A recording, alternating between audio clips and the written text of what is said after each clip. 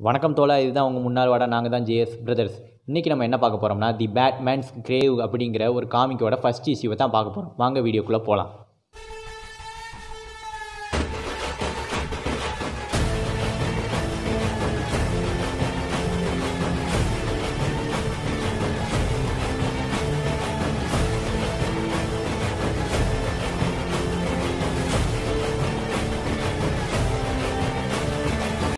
Okay guys ஓப்பனிங்கில் பார்த்தீங்கன்னா நம்மளோட ஆல்ஃபைடு காமிக்காங்க ஆல்ஃபைடு வந்து நம்ம ஒயின் வேனர்லேருந்து இறங்கி ஒரு இடத்துக்கு போகாமல் காமிச்சிருக்காங்க. அவள் வந்து கையில் போகும்போதே ஏதோ ஒரு கூட மாதிரி எதையோ எடுத்துகிட்டு போகிறாரு அங்கே பார்த்தீங்கன்னா ஒரு மூணு கல்லறைகளை காமிச்சிருக்காங்க. அதில் ஒன்று தாமஸ் ஒயினோட கல்லறை இன்னொன்று மாத்தா ஒயினோட கல்லறை மூணாவது கல்லறை என்னங்கிறத நம்மளுக்கு காட்டலாம் அது வந்து கொஞ்சம் அழுக்காக இருக்கிற மாதிரி காமிச்சிருக்காங்க.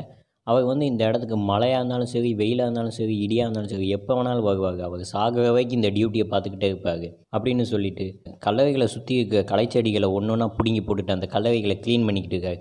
அடுத்து அப்படியே க்ளீன் பண்ணிக்கிட்டு இருக்கும்போது மூணாவது கலவையை க்ளீன் பண்ண போகிறாரு அந்த கலவையில் என்ன பேர் இருக்குன்னா பேர்ஸ் வெயின்னு கல்லறையில் பேர் எழுதி. ஏன்னா இது ஆரம்பத்தில் எண்டு கார்டு போட்டு எங்களுக்கு பீதியை கிளப்புறீங்க அப்படின்னு உங்களை மாதிரியே தான் எங்களுக்கும் மைண்ட் செட் இருந்துச்சு. சரின்னு சொல்லி மனசை திடப்படுத்திக்கிட்டு அடுத்தடுத்து போகலாம். காத்தமில் காமிச்சிக்காங்க அப்போ வந்து ஒரு க்ரௌடுக்கு நடுவில் ஒரு ரெண்டு ஃப்ரெண்ட்ஸ் இருக்காங்க. அந்த ரெண்டு ஃப்ரெண்ட்ஸில் ஒருத்தர் வந்து தை கையில் வந்து ஒட்டி குழந்தைய வச்சுருக்காங்க. இந்த ரெண்டு பேர் ஏதோ படம் பார்த்துருப்பாங்க போல். அந்த படத்தை பற்றி பேசிக்கிட்டே வரும்போது ஒரு மூத்த சொந்த மாதிரி இருக்குது அந்த இடத்துக்குள்ளே போகிறாங்க அப்போ பார்த்தீங்கன்னா பஞ்சத்தில் அடிபட்ட மாதிரி ஒரு மொட்டை அவங்களுக்கு முன்னாடி வந்து நின்று கன்னை தூக்கி காமிக்காங்க பின்னாடியும் பார்த்தீங்கன்னா பின்னாடி அதே மாதிரி அடிபட்ட ஒரு மொட்டை இன்னொரு கன்னை தூக்கி காமிக்காங்க இப்படி காமிச்சிக்கிட்டு இருக்கும்போது அந்த மொட்டைகளில் ஒரு மொட்டை சொல்லுது ஜான் நீ இன்னைக்கு எங்கள் கிட்ட மாட்டிக்கிட்ட. நீயும் குழந்தையும் இன்னைக்கு சாக போவீங்க. அப்படின்னு சொல்லி அப்படின்னு டயலாக் பேசிக்கிட்டு இருக்கும்போது அங்கே திடீர்னு வந்த பேட்மேன் அந்த ரெண்டு பேர்த்தையும் அடிச்சு பிணைஞ்சு எடுத்துதாரு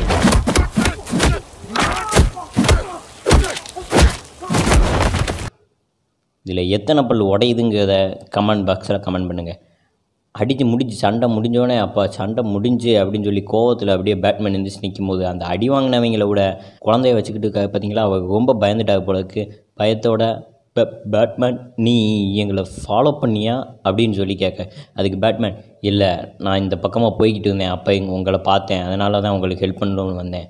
நீங்கள் வெளியே அதிகமாக சுற்றாமல் இப்போ வீட்டுக்கு போங்க. அப்படியே போகும்போது ஆம்புலன்ஸை கூப்பிட்டுங்க. அப்போனா தான் அந்த முட்டைங்களுக்கு நல்லது அப்படின்னு சொல்லிட்டு பேட் மொபைலில் போய்கிட்டு இருக்காங்க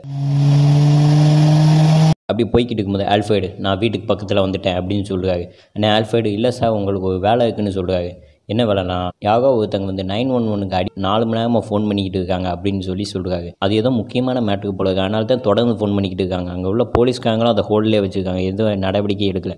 அதனால் அது என்னென்னு நீங்கள் ஒரு சின்ன விசிட்டை போட்டிங்கன்னா நல்லா இருக்கும்னு ஆல்ஃபைடு சொல்ல நான் அதை பார்த்துக்கிறேன் அப்படின்னு சொல்லிட்டு பேட்மேன் அந்த இடத்துக்கு போக அங்கே வந்து ஒரு பழைய அப்பார்ட்மெண்ட் மாதிரி இருக்குது அங்கே போனோன்னே நம்ம தலை பேட்மேன் யார் நைன் ஒன் ஒன்றுக்கு கால் பண்ணது? அப்படின்னு சொல்லும்போது ஒரு வயசானவர் அட பாவிகளா! அப்படின்னு சொல்லி பயந்துருந்தாரு பயத்தில் அவள் பயத்தில் ஆணு பார்த்துக்கிட்டு இருக்கும்போது பக்கத்தில் இருந்த ஒரு லேடி நான் தான் ஃபோன் பண்ணேன்னு சொல்லி சொல்கிறாங்க அப்போ வந்து அந்த வயசானவர் வந்து அங்கே ஃபோர் சிங்கிறது வின்ஸோட ஃப்ளாட்டு அந்த ஃப்ளாட்டில் அவனை நாங்கள் ரொம்ப நாலு நாளாக பார்க்கவே இல்லை. என்னடா அப்படி நாலு நாளாக ஆலையை காணும்னு சொல்லிட்டு யோசிச்சுக்கிட்டு இருக்கும்போது பார்த்தீங்கன்னா இன்றைக்கி வந்து இப்போ எங்களுக்கு ஒரு துர்நாட்டுக்கு அடிக்க ஸ்மெல் வருது அப்படின்னு சொல்லிக்கிட்டு இருக்கும்போது நம்மளோட பேட்மேன் என்ன ஸ்மெல் வருது அப்படின்னு சொல்கிறாரு அண்ணே அந்த வயசான உனக்கு என்ன மூக்கு இல்லையா? அழுகுன முட்டையும் அழுகின அழுகுன இறைச்சியோட நாத்தமும் தான் அடிக்குது அப்படின்னு சொல்லும்போது நம்ம பேட்மேன் யாராச்சும் அவனை பார்க்க வருவாங்களா அப்படின்னு சொல்லும்போது அந்த லேடி சொல்கிறாங்க அவனை அதிகமாக யாரும் பார்க்க மாட்டாங்க. அவன் ஆஃபீஸில் வேலை செஞ்ச அவனோட பழைய ஃப்ரெண்டு தான் அவனை பார்க்க வருவான் அடிக்கடி அப்படின்னு சொல்லும்போது அவன் எப்படி இருப்பான்? அவனோட பேர் என்ன? அப்படின்னு நம்ம பேட்மேன் கேட்காரு அப்போ அந்த வயசானவர் ஆள் பார்க்கறதுக்கு லைட்டாக சின்ன மீசையும் வச்சுக்கிட்டு இருப்பான். பார்க்கறதுக்கு நல்லா டீசெண்டாக தான் இருந்தான். அவன் தான் வின்ஸை அடிக்கடி பார்க்க வருவான் அப்படின்னு சொல்லும்போது நம்ம பேட்மேன் அங்கேருந்து அந்த ரூமை நோக்கி நடந்து போகாது. நீங்கள் யாரும் போய் பார்க்கலையா அப்படின்னு பார்க்கும்போது அந்த லேடி சொல்கிறாங்க நாங்கள் யாரும் பார்க்க போகல இந்த ஸ்மெல் வந்தோடனே தான் நாங்கள் போலீஸ்க்கு கால் பண்ணோம் அப்படின்னு சொல்கிறாங்க உடனே நம்ம பேட்மேன் சரி நான் பார்த்துக்கிறேன் நீங்கள் எல்லாம் வீட்டுக்குள்ளே போங்க அப்படின்னு சொல்கிறாரு அந்த அந்த ரூம் முன்னாடி போய் நின்றுக்கிட்டு பேட்மேன் ஆல்ஃபைடு இந்த ஃபோர்சி ரூம்குள்ளே யாருக்கா அப்படின்னு கேட்கும்போது இவங்க வெயிட் அ மினிட் பேட்மேன் நான் இப்போ பார்த்து சொல்கிறேன் அப்படின்னு சொல்லிட்டு வின்ஸ்டன் வில்லியம் ஸ்டான்னிக் அப்படிங்கிற ஒருத்தரோட அப்பார்ட்மெண்ட் தான் இது அப்படின்னு சொல்லும்போது நம்ம பேட்மேன் இந்த கதவை நான் உடச்சிட்டு உள்ளே போக வேண்டியது இருக்குன்னு நினைக்குவேன் அப்படின்னு நம்ம பேட்மேன் சொல்கிறாரு அந்த க அதே மாதிரி கதவை உடச்சிட்டு உள்ளே போகும்போது பார்த்தீங்கன்னா அந்த ரூமே ரொம்ப பஞ்சத்தில் அடிபட்ட மாதிரி இருக்குது கைஸ் அந்த ரூமில் வந்து எங்கே பார்த்தாலும் அவங்க குடும்ப ஃபோட்டோ இருக்கோ இல்லையோ எங்கே பார்த்தாலும் நம்ம பேட்மேனோட ஃபோட்டோ இருக்குது எங்கே பார்த்தாலும் பேட்மேனை பற்றின சின்ன சின்ன நியூஸ் ஆர்டிகல்ஸ் எல்லாத்தையுமே சுவத்தில் ஒட்டி வச்சு ஏதோ பேட்மேனை தேடுகிற மாதிரி தெரியுது. கீழே பார்த்தீங்கன்னா அங்கே ஒரு பெட்டில் ஒரு டெட் பாடி இருக்குது அந்த டெட் பாடியை பார்த்தீங்கன்னா இதை இதை மாதிரி ஒரு கொலையை பண்ண முடியுமா அப்படிங்கிற மாதிரி உங்களுக்கு தோன்ற மாதிரி ரொம்ப கொடூரமாக ஒரு கொலையை பண்ணியிருக்காங்க.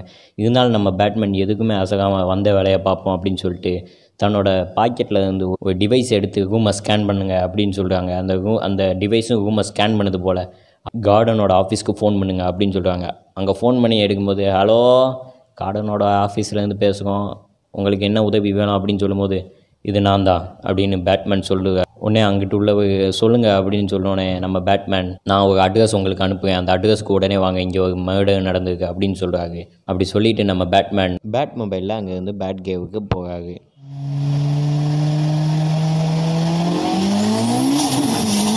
பேட்மேன் அங்கே வந்து சேர்ந்துட்டு நம்ம தன்னோட சூட்டை கலட்டி போட்டுட்டு ப்ரூஸ் வெயினா வீட்டுக்குள்ளே வராது நீங்கள் என்ன பண்ணிக்கிட்டு இருக்கீங்க ஆல்ஃபைடு அப்படின்னு சொல்லிட்டு கேட்கும்போது நம்ம ஆல்ஃபேடு ஃபுல் போதையில் இருக்காது போல இருக்குது இப்போ நானா நான் வந்து பழைய பாட்டை கேட்டுக்கிட்டு இந்த சகக்கு அடிச்சுக்கிட்டு இருக்கேன் அப்படின்னு சொல்லி ஆல்ஃபேடு சொல்லும்போது நம்ம ப்ரூஸ் நீங்கள் குடிக்கீங்களா? அப்படின்னு கேட்குறாரு. அதுக்கு நம்ம ஆல்ஃபேடு ஏன் நான்லாம் குடிக்கூடாதா எனக்கு கொஞ்ச நாளாக தூக்கம் இல்லாமல் இருக்குது அதனால தான் இதை குடிச்சிட்டு குடிச்சிட்டு தூங்குவேன். உனக்கும் தூக்கம் இல்லாட்டி சொல்லு இதை குடிச்சிட்டு கொஞ்ச நேரம் தூங்கினீங்கன்னா உனக்கு நல்லா தூக்கம் அப்படின்னு சொல்லும்போது நம்ம பியூஸ் வெயின் அவருக்கு ஏதோ ப்ராப்ளம் இருக்குங்கிறத புரிஞ்சுக்கிட்டு நம்ம பியூஸ் வெயின் ஆல்ஃபைடுட்டா உங்களுக்கு என்ன ப்ராப்ளம் அப்படின்னு கேட்காங்க அப்போ வந்து நம்ம ஆல்ஃபைடு வந்து எனக்கு என்ன ப்ராப்ளம்னு உனக்கு தெரியாதா? என்னோடய ப்ராப்ளமே நீ தான் அப்படின்னு சொல்கிறாரு அதாவது அவர் எந்த முறையில் சொல்ல வராங்கன்னா அதையும் அடுத்து விவரமாக சொல்கிறாரு நீ வந்து நீ இப்படி ராத்திரி முழுக்க போயிட்டு வர்றது எனக்கு பிடிக்கலை. நான் எவ்வளவோ சொல்லி நீ அதை கேட்கல.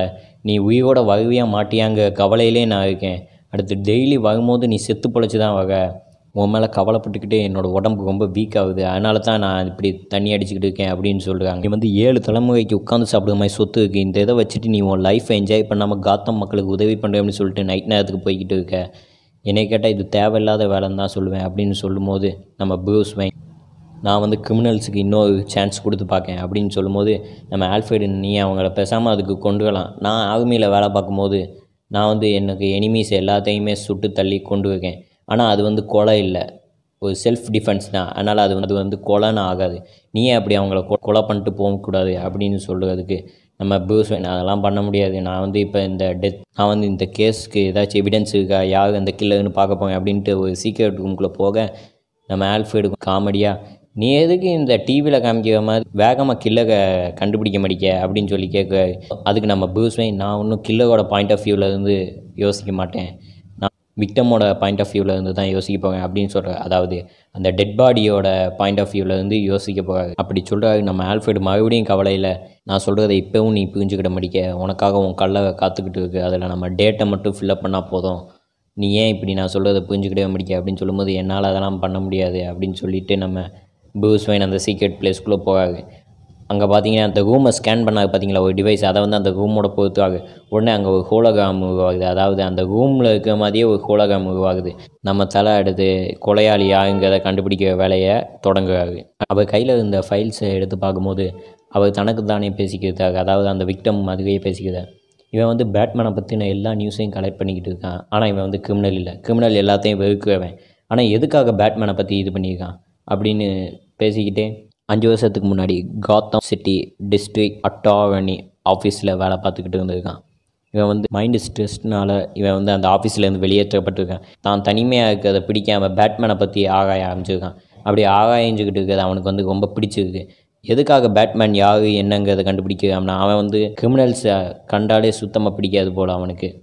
அவன் வந்து பேட்மேன் யார் எதுக்காக இதெல்லாம் செய்தாங்க அவனோட ஆர்வத்துக்கு தீனி போடுற விதமாக தான் பேட்மேனை பற்றி ஆகாய ஆரம்பிச்சிருக்கான். அதுக்கப்புறம் அவன் இயல்பு வாழ்க்கைக்கு திரும்பலும்னு நினச்சிருக்கான். காலையில் ஆஃபீஸ்க்கு வேலைக்கு போயிட்டு அடுத்து வந்துட்டு சாப்பிட்டுட்டு நிம்மதியாக தூங்க வாழ்க்கையை தேர்ந்தெடுத்துருக்கான். அப்படின்னு பேசிட்டு சாகிறதுக்கு முன்னாடி என்னென்ன பண்ணாருங்கிறத அவரோட பாயிண்ட் ஆஃப் வியூவில் இருந்தே நம்ம ப்ரூஸ் வெயின் யோசிக்க ஆரம்பிக்கிறாரு. அடுத்து ரொம்ப நாள் கழிச்சு அவனுக்கு ஒரு நல்ல ஃப்ரெண்டு கிடச்சிருக்கான். அவன் பேர் எட் அவனுக்காகவே அவன் ரெண்டு காஃபி கப்ஸும் வாங்கி வச்சுருக்கான். அவனுக்கு கிளாசிக்கல் மியூசிக் ரொம்ப பிடிக்கும். அவனோட ட்ரெஸ்ஸிங் சென்ஸ் ரொம்ப சூப்பராக இருக்கும். எனக்கு வந்து வேலை கிடச்சிருச்சுன்னு சொல்லி நான் எடிட்ட சொல்லும்போது அவன் நான் நீ மறக்க முடியாத பரிசு ஒன்று கொடுக்க போவேன் அப்படின்னு சொல்லி சொல்லியிருக்கான். அதுதான் வின்ஸுக்கு அவன் வாழ்க்கையில் கிடைச்ச ஒரு பரிசு. அப்போ தான் வின்ஸ் தனக்கு கிடைச்சதுலே பெஸ்ட் ஃப்ரெண்டு எட்டு தான் அப்படின்னு சொல்லி ரொம்ப சந்தோஷமாக இருந்திருக்கான். அப்படின்னு சொல்லி பேசிக்கிட்டு இருக்கும்போது திடீர்னு பார்த்தா என்னடா டெட் பாடி பேசுது அப்படின்னு சொல்லி பயந்துக்க வேண்டாம் கைஸ் அது நம்ம ப்ரூஸ் வெயின் தான். அதே மாதிரி ட்ரெஸ்ஸை போட்டுக்கிட்டு அதே மாதிரி படுத்துக்கிட்டு ப்ரூஸ் வெயின் பேச ஆரம்பிக்கிறாரு.